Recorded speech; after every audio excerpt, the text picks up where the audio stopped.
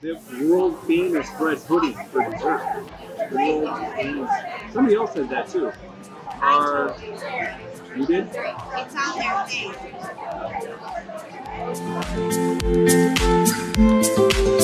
thing.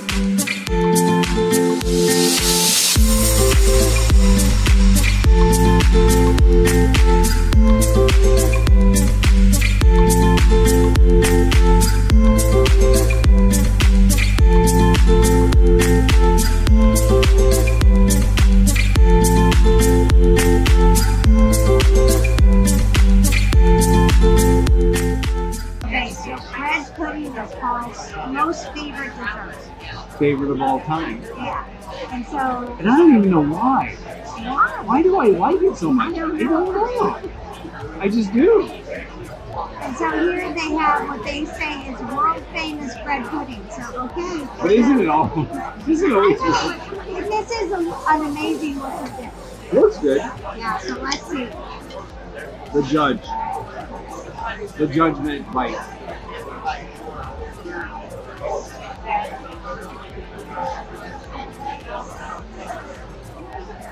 It's really good. Really good. That's good. That's good bread pudding. It passes. Yeah, because it's not dry, it's not too wet, it's it's moist, it's delicious. Sweet. Passes the test. Yeah, sweet. So we are in the lobby and of the Captain Cook Hotel, Hotel Captain Cook, and Silver Sea has a desk here. So when you stay at this hotel, they have a hospitality desk so you can ask the people questions, figure out where you need to go and everything, and it makes it much more convenient. So that's the easiest way to do it. Right.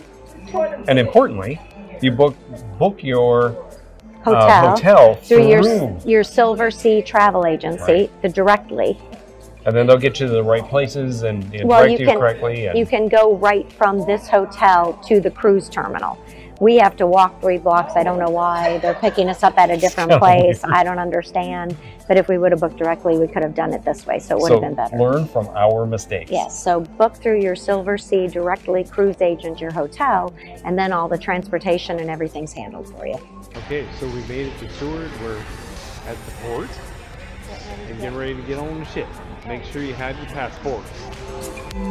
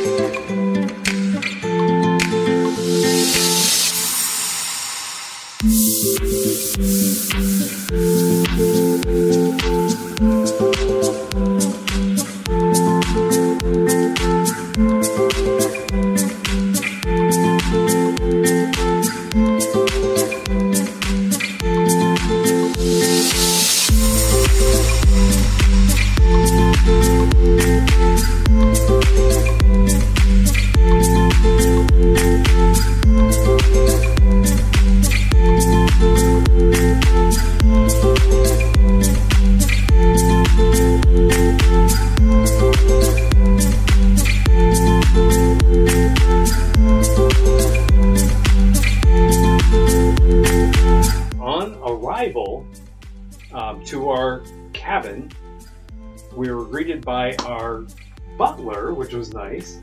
And here's how he had it set up. We have we have champagne, and Lisa has a birthday cake, which was really quite nice. I almost made me cry. No, it was really cool though. Very nice. And now,